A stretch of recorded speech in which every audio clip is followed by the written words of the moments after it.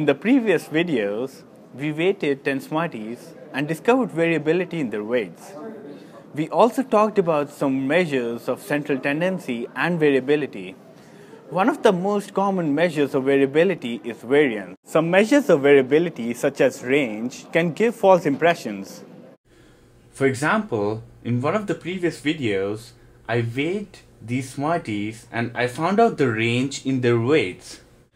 Now say my one Smartie here weighs 2.5 grams instead of 1.1 gram.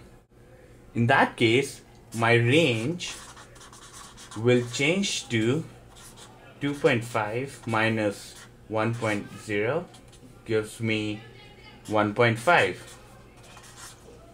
So this tells us that the weight of the Smarties vary by a range of 1.5 grams but it fails to tell us that most Smarties here weigh around 1 grams and not 2.5 grams. This shows that range does not account for outliers like this.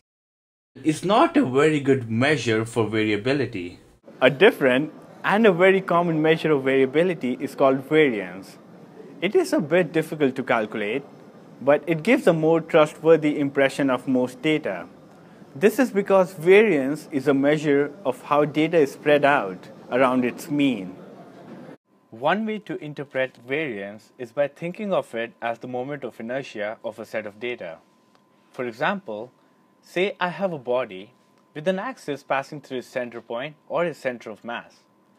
The moment of inertia is the amount of force or torque required to rotate or cause angular acceleration on this body around its axis. The moment of inertia is dependent on how the mass is distributed around this axis. For a set of data represented by this plot, the moment is the central point.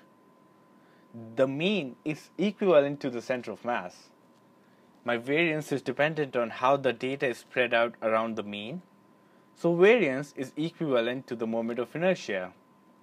If I had another set of data which looked like this, then spread of data is less around the mean. This means the variance of this plot is less. A low variance means that data points lie close to their mean and a high value means they are spread out. Please join us in our next video to learn how to calculate variance. That's it for now. Bye!